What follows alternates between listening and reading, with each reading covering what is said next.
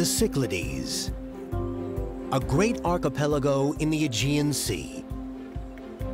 A ring of over 200 islands filled with extraordinary history and ancient myth.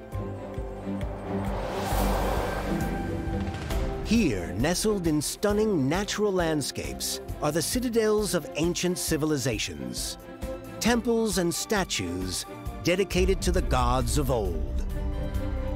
Early Christian churches, perched as close to heaven as the earth will allow.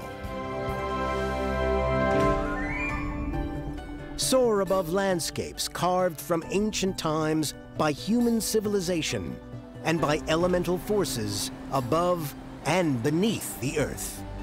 From the most sacred precinct of ancient Greece, the birthplace of a god, to an otherworldly landscape created, some say, by a visitor from deep space. A hillside where the very soil contains a secret that keeps the world's beautiful people looking that way. The quiet corner of a party island where the final scene of a Hollywood blockbuster reunited a rogue agent with his lover. And a remote prison island with a dark past that led to an international scandal. Where the largest explosion ever recorded on Earth could have been responsible for the biblical parting of the Red Sea. These are the islands of the Cyclades, each one with its own unique story, seen from above.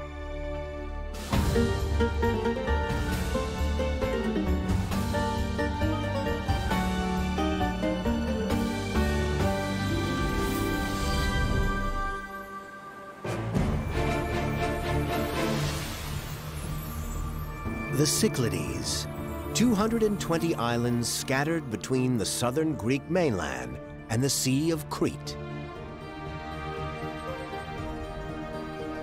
According to Greek myth, they were made by the vengeful sea god Poseidon. Enraged by his entourage of beautiful nymphs or female water spirits, he turned them all to stone, creating the archipelago. What they did to deserve such a fate remains a mystery. In fact, the islands are the peaks of a long submerged mountain range. But one stands out for its violent past and impact on human history, Santorini. The town of Fira, perched 800 feet above the waters of the Aegean, is Santorini's capital it's a stunning but precarious setting, and the reason it looks this way is because Santorini was once the epicenter of a cataclysmic seismic event.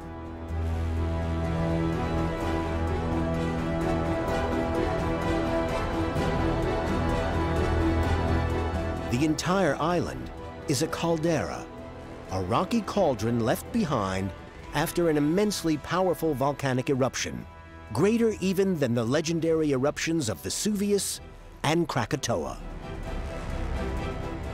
In 1600 BC, an explosion equivalent to several hundred atomic bombs sent billions of tons of debris into the sky, blotting out the sun and causing climate change as far away as China.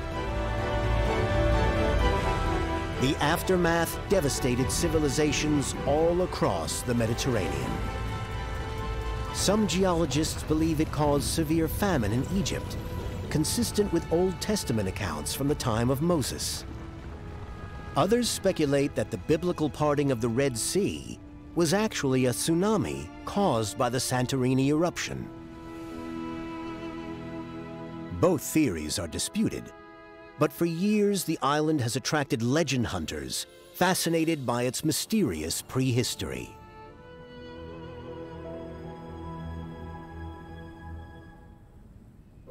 The late great underwater explorer, Jacques Cousteau, believes Santorini was the location of the fabled city of Atlantis. In 1976, he came here to prove that theory. But despite his best efforts, he failed to discover any trace of the mythical sunken city.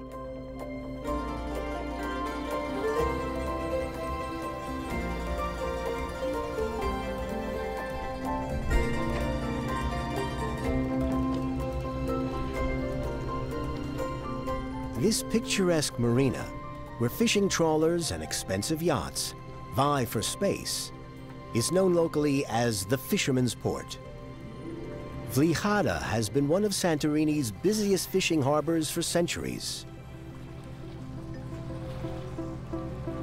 The families of Santorini have always made their livelihood from the sea.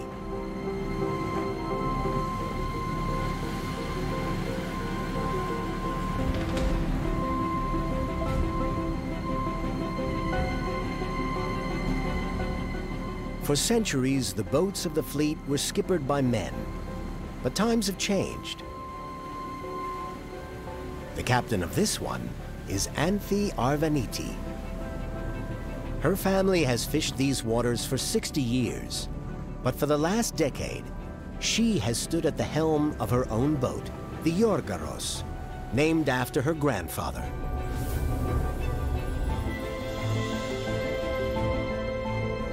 Anthi studied philosophy before returning to Santorini, where, trained by her father, she earned a fishing captain's license. Since then, she's expanded the family business to include fishing trips and diving expeditions for tourists.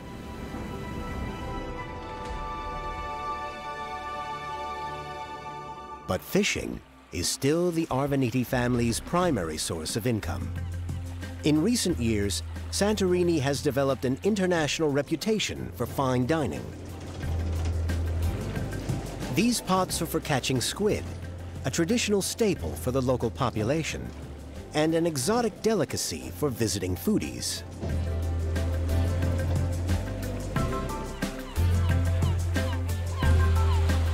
Like every good skipper, Anthi is optimistic.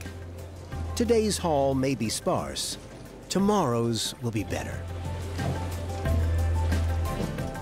In any case, the real treasures of Santorini lie above sea level, and getting there can be a challenge in itself.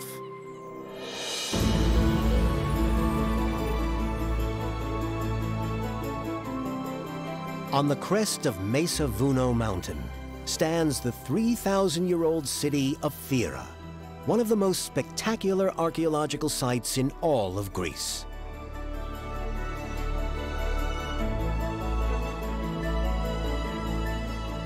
For thousands of years, the ancient city could only be reached by a punishing hike up the side of Mesa Vuno. Today, the best route might have been inspired by the Beatles, a long and winding road called the Kamari Serpentinas. This one and a half mile route snakes back and forth, rising up the slope of Mesa Vuno with 22 hairpin switchbacks. It seems to invite racers, but only those with nerves of steel.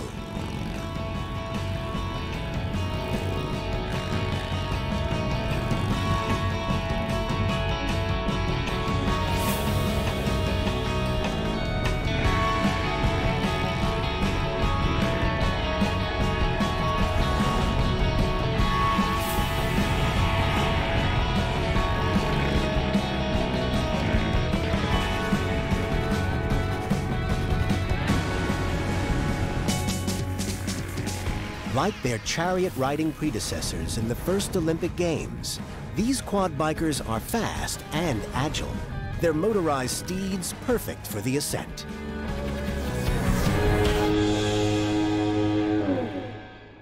From here, a short hike will take you back three millennia to ancient Thera.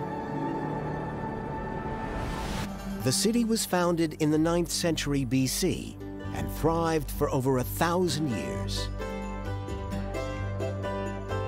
In the 20th century, archaeologists uncovered the city's 875-yard-long main thoroughfare.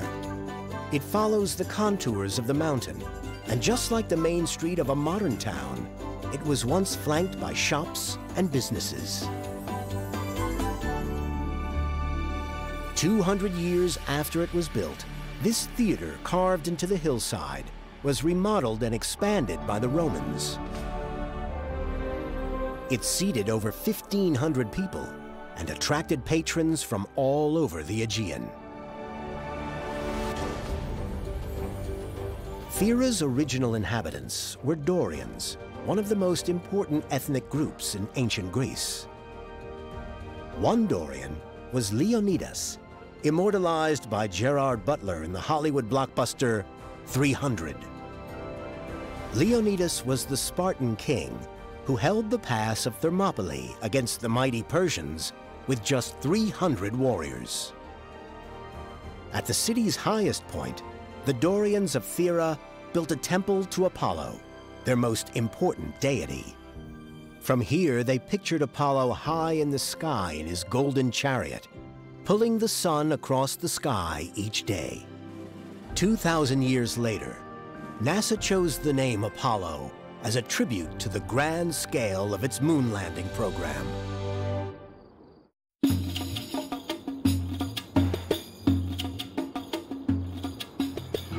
For generations, tourists and locals relied on mules to help them navigate the steep sides of the Santorini caldera. It might seem fun, unless you're a mule, climbing the 587 steps from the harbor to the town. In 1979, a local shipping magnate named Evangelos Nomikos bankrolled an easier way, this cable car system which can carry over 1,200 passengers an hour up the cliff.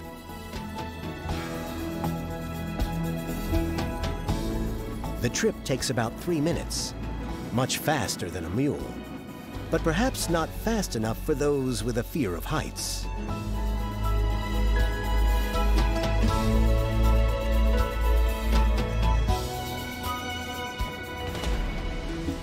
While the cable cars haven't put the mules out of a job, they have cut into their owners' profits, so the company gives them a percentage of ticket sales.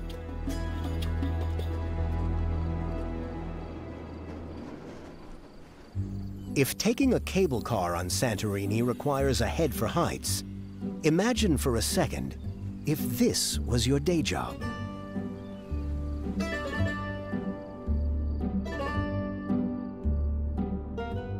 This is the five-star Katikies Hotel, perched high on a cliff above the town of Oia. For the past 18 years, Yanis Komninos has been single-handedly whitewashing the rooftops of these luxury apartments. High and exposed, daytime temperatures here during the summer months can reach over 100 degrees Fahrenheit.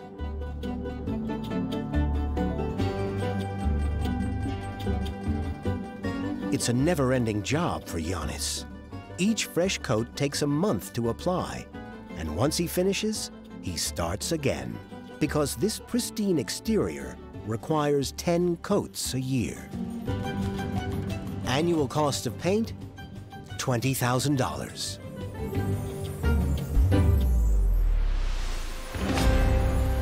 By the early 16th century, most of the Cycladic islands were ruled by the powerful Venetian Empire. Their merchant fleet, the largest in the world at that time, enabled them to trade across the Mediterranean and as far afield as China. The legendary explorer Marco Polo, who inspired the Atlantic voyage of Christopher Columbus, was himself a Venetian.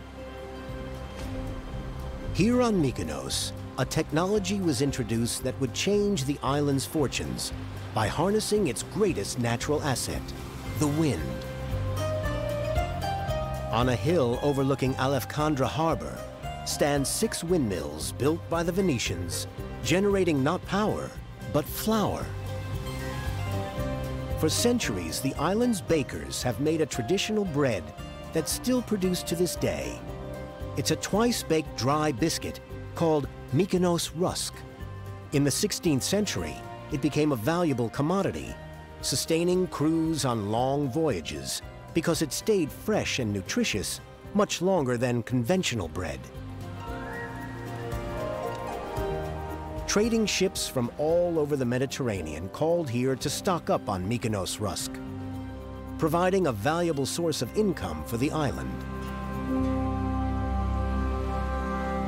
Traditional bakeries like this one, Gioras, still produce bread and rusk in wood-fired ovens, just like their predecessors did five centuries ago.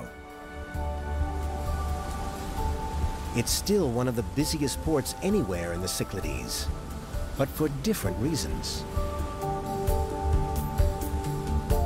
Every day, luxury cruise liners bring thousands of day trippers to Mykonos. For some, however, one day on this island is never enough. A few years ago, Mykonos' reputation as Party Central persuaded Hollywood actor Lindsay Lohan to star in her own reality TV show, filmed here on the island. Lohan bought this beachside nightclub, and filming began in 2018. Twelve episodes of Lindsay Lohan's Beach Club aired on MTV the following year. But with critics slamming the show's uninspiring storylines and Lohan's lack of screen time, it was axed after just one season.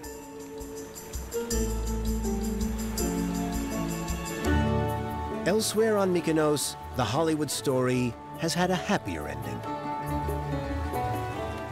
This part of Alefkandra is known as Little Venice and is considered the most romantic place on the island. It was built by Venetian merchants in the style of their home city presumably to stave off homesickness. In 2002, this was where Matt Damon's character Jason Bourne reunited with his lover Marie in the blockbuster film The Bourne Identity. That's why this is the most Instagram doorway in the Aegean. The movie, which concluded with a final spectacular aerial shot of Alefkandra Harbor, would introduce a whole new generation to the magic of Mykonos.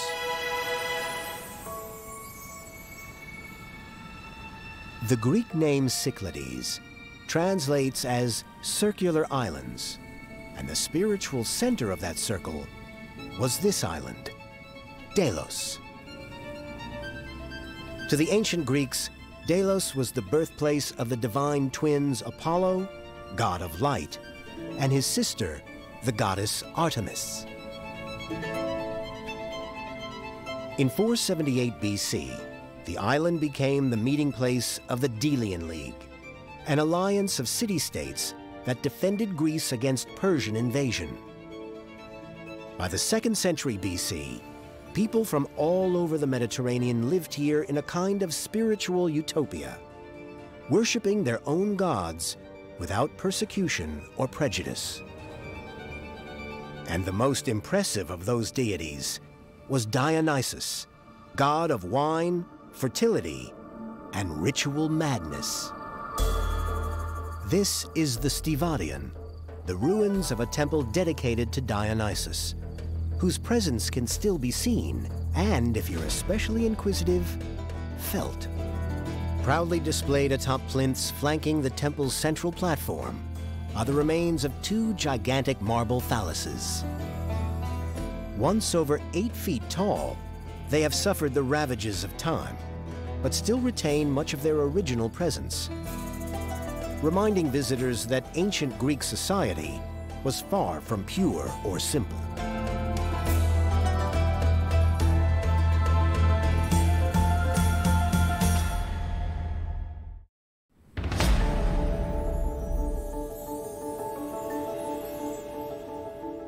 Centuries of erosion by wind and sea carved these majestic sea stacks and caverns.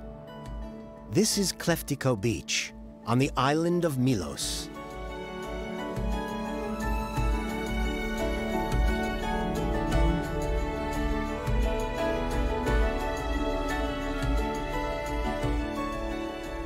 The formations and sea caves, accessible only by boat, have inspired legends of underwater chambers filled with treasure hidden by Turkish pirates hiding from the British Navy.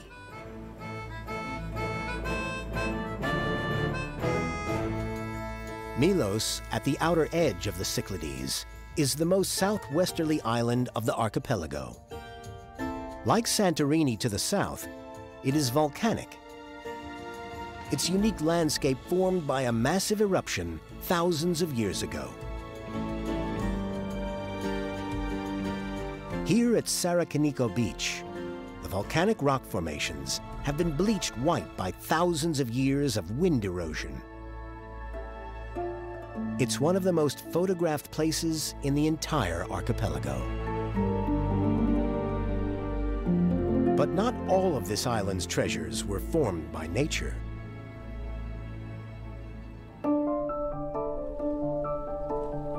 This beautiful harbor town, embracing the tranquil waters of the Aegean, is Adamantas. The name in Greek means diamond.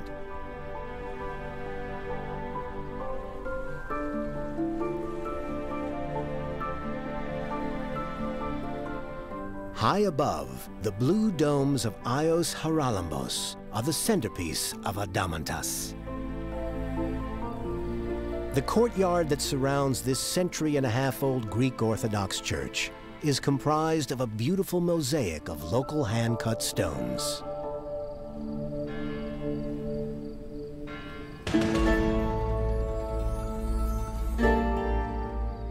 This is the old fishing village of Klima, the island's most famous landmark. These traditional waterside houses with their whitewashed walls and multicolored doors are known as sirmata. It's a picturesque but also a practical design. Families live on the upper floor, using the lower one as a boathouse and a store for fishing gear and nets. Long before house numbers and zip codes, these distinctively colored facades clearly identified who lived where.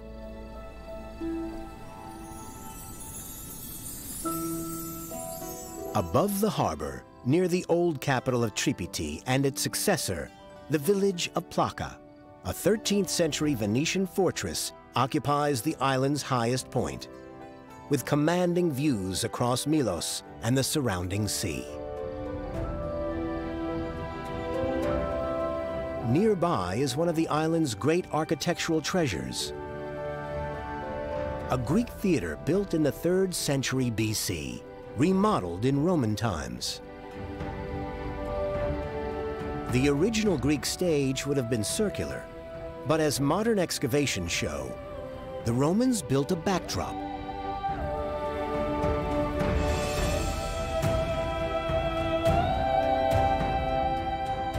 Roman theaters featured spectacles as well as plays, so a barrier was built to protect the audience from the action unfolding below. Even now, only partially restored, the acoustics are so good that performances are still held here. On the hillside around the old town are caves and catacombs where islanders once buried their dead. Not every tomb has remained sealed, for which the art world, at least, can be thankful. In 1820, a local farmer uncovered a stone slab, which turned out to be the door of a hidden cave. Inside, he found a statue depicting a beautiful woman. Archaeologists and art historians identified her as Aphrodite, the Greek goddess of love and beauty. This same goddess was also known to the Romans by her Latin name, Venus. Today, the iconic Venus de Milo is on display at the Louvre Museum in Paris. And it's no surprise that the plastic surgeons of America chose her image as their first emblem. More surprising is the fact that Milos has another, even greater contribution to idealized notions of feminine beauty.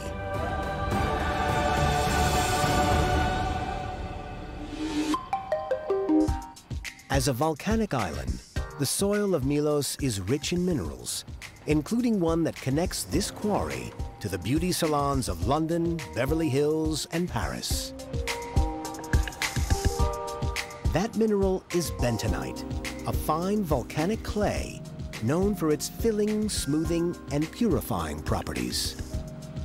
All of which makes it a valuable ingredient in the products of a global cosmetics industry worth half a trillion dollars a year.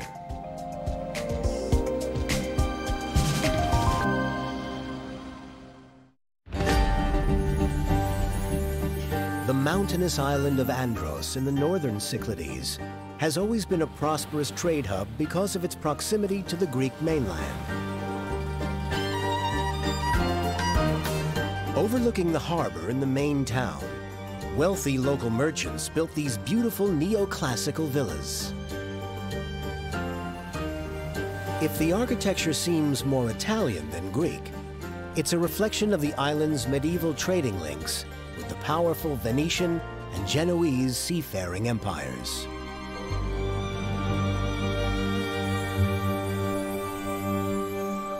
Here on the old quayside stands the statue of the unknown sailor, a tribute to all mariners who lost their lives at sea. This island has never forgotten that centuries of prosperity came at a significant human cost. Near the entrance to the harbor is what looks like the home of the world's loneliest lighthouse keeper. In fact, this picturesque beacon has been uninhabited for nearly 30 years. This is the Tourlitis Lighthouse, the island's most recognizable landmark. The original lighthouse, built in 1897, was destroyed during World War II, leaving the rocky plinth deserted. In the early 90s, it was rebuilt by shipping magnate and Andros native Alexandros Goulandris and his wife. They dedicated its guiding light to the memory of their deceased daughter, Violanda.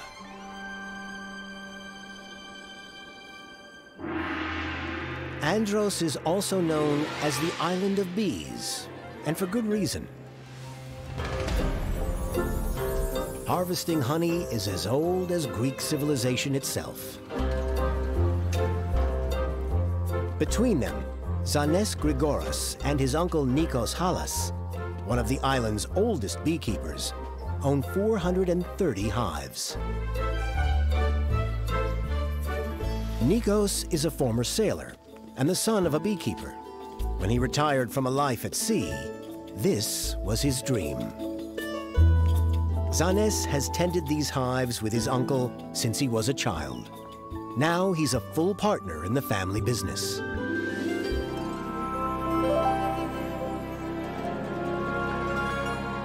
In early Christian times, this valley was home to generations of beekeeping monks who built these distinctive stone hives, supplying much of the Aegean with the food of the gods.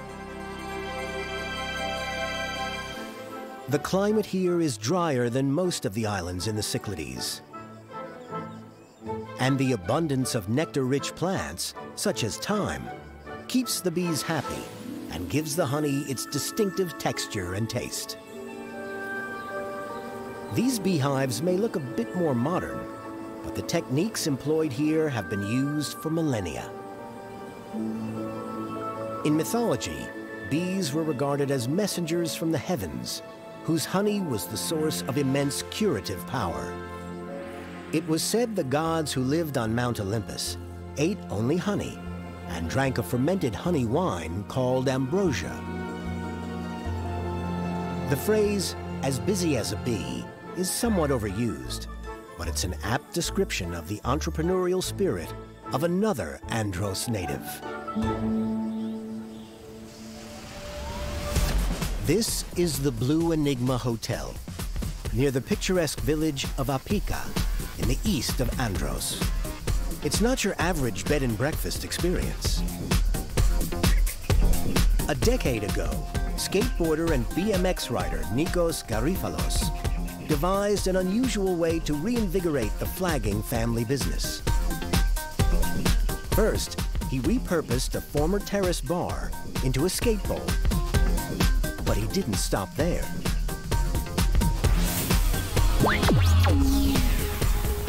Nearby on the slopes of the Kakosuli Mountain, Nikos built a 27,000 square foot complex of tracks and bowls called the Gratitude Trails. Skaters and bikers from around the world come here to train and show off their skills.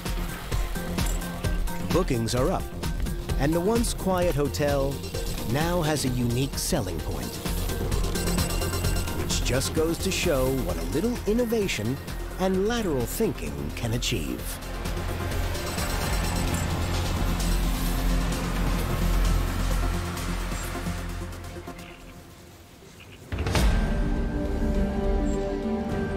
Human influence in the Cyclades pales next to the elemental forces that shape these islands. These mountains are among the highest anywhere in the archipelago, and scattered across their slopes and foothills are the rocks and boulders that give this place its unique identity. This is Tinos, the island of stone.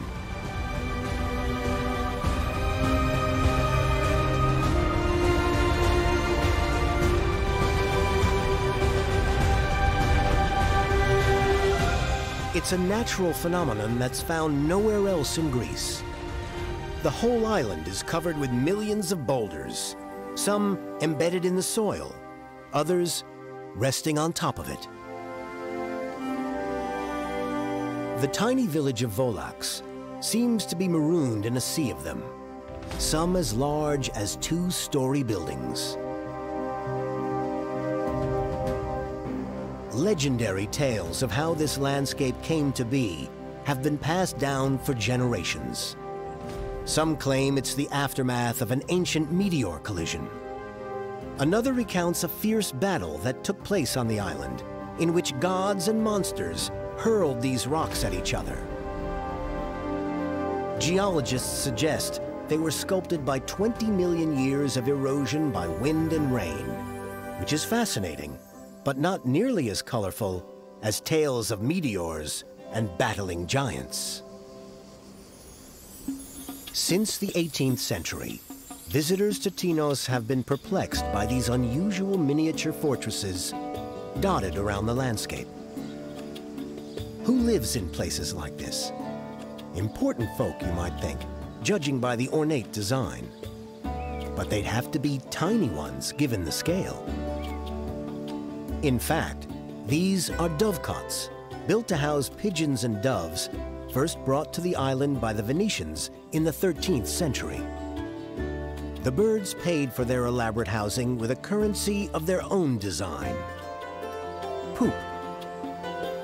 Since the Middle Ages, Tenosian farmers have used the birds' droppings as fertilizer for growing crops.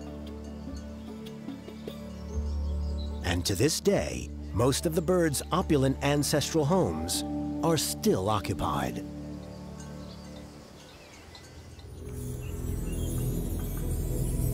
Look closely at this rocky hillside on the island of Naxos, and you'll discover an ancient god hiding in plain sight. An 80-ton statue, reclining in silence for 2,700 years. But who put it here? And what could it mean? This is the Colossus of Dionysus, a depiction of the bearded Greek god of wine and fertility. And it's always been here. Its sculptors intended to honor the god who, it was said, married Princess Ariadne of Crete, here on Naxos. The sculptors formed the feet and arms, drilling holes and slots for the beams and ropes that would have raised the finished piece from the bedrock. But for reasons unknown, they abandoned their work. And this is not the only unfinished monument on the island. In Greek mythology, Naxos was the childhood home of Zeus, king of all the gods. As a result, the island was among the most revered in all of ancient Greece. But it was a mortal and his dream of godlike glory who bequeathed the island its most imposing monument. In the 7th century BC, Naxos was ruled by the tyrant Lygdamis. Eager to show off his power, he undertook a massive construction program, dreaming up buildings more magnificent than any in Greece. Among them was a temple in honor of Apollo, god of music and poetry. It would have been about 98 feet high and twice as long, lined with columns and entered through huge porticos. All that remains today is this rectangular door made of four 20-ton marble blocks, 20 feet long.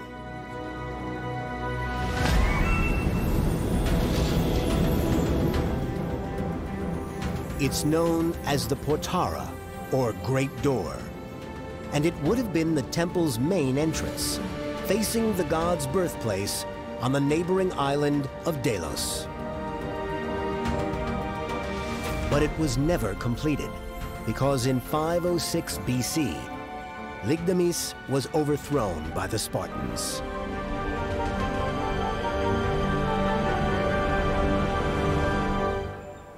Of course, it wasn't just the ancient Greeks who built their temples here.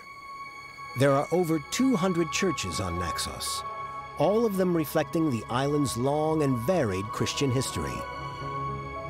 In this quiet valley stands the thousand-year-old church of Agios Mamas. Dating from the 10th century AD, it was originally the Orthodox Cathedral of Naxos. The domed cruciform shape is typical of Byzantine architecture, found in many Greek churches from that period. In the 13th century, with the arrival of the Venetians, a belfry and double vaulted porch were added, and the Orthodox Church became a Catholic chapel. The church is named for a saint who was known as the protector of shepherds, appropriate in a region that's heavily dependent on sheep and goat breeding. For those looking to get even closer to heaven, a 1,500-foot trek up a mountain above the village of Philoti leads to the most remote church on the island, Agios Ioannis. Mountaintops were seen as sacred places, where the faithful could worship closer to God. This humble church, dedicated to St. John the Evangelist, one of the four writers of the Gospels, is still a place of sacred pilgrimage today.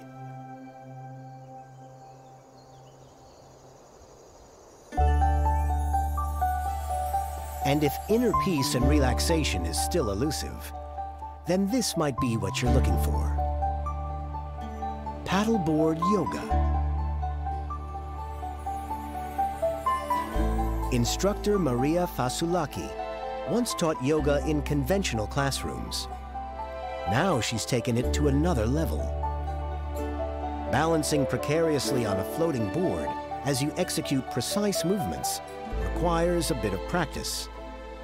But Maria's students relish the challenge, not to mention the idyllic setting.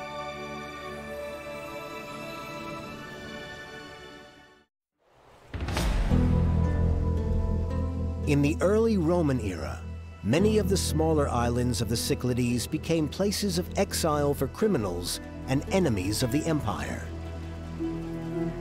Yaros was one of them. Its role as a penitentiary would continue for many centuries.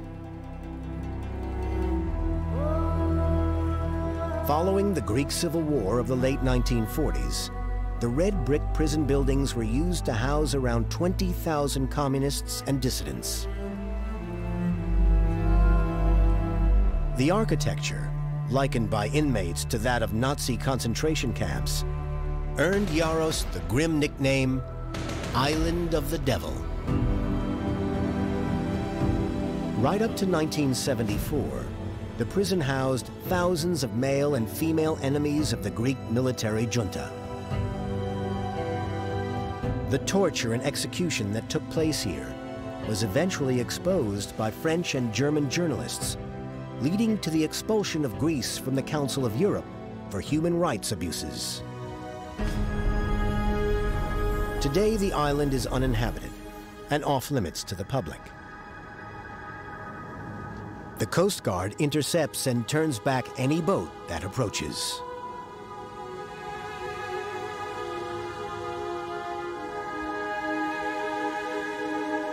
The island of Amorgos is a lot more accessible, but famous for a pair of legendary shipwrecks.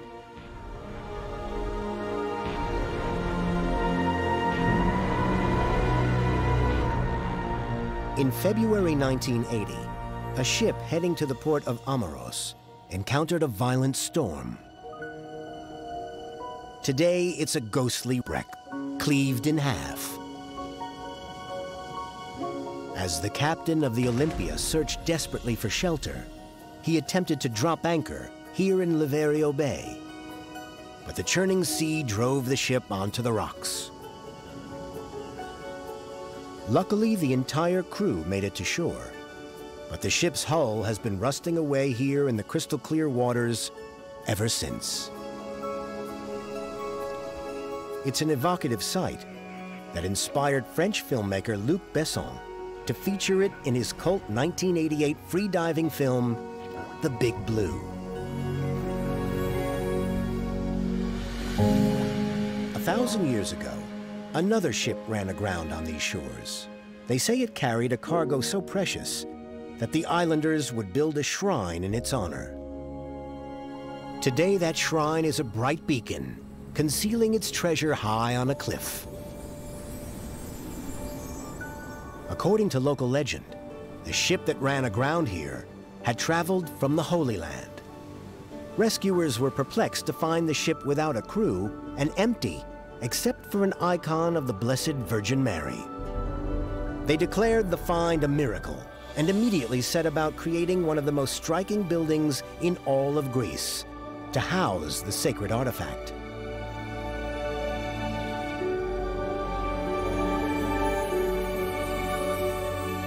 This is the 10th century monastery of Panagia Hozoviotissa on the side of Mount Profitis Ilias, 1,000 feet above the Aegean Sea. The monastery is 130 feet tall, containing over 100 rooms.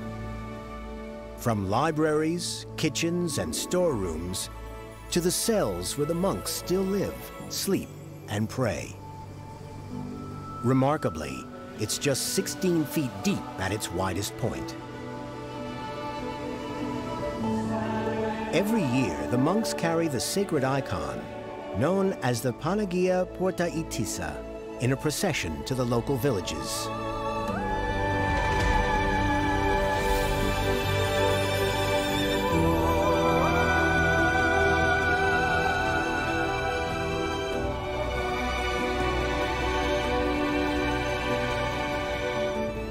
Those who can't wait, a pathway of 350 stone stairs leads to the monastery, where visitors are welcomed twice a day with coffee, sweets, and a spectacular view across the Aegean from this, one of the brightest jewels of the Cyclades.